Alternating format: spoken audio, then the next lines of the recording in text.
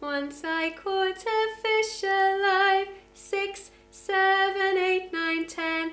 Then I threw it back again. Why did you let it go? Because it bit my finger so. Which finger did it bite? This little finger on.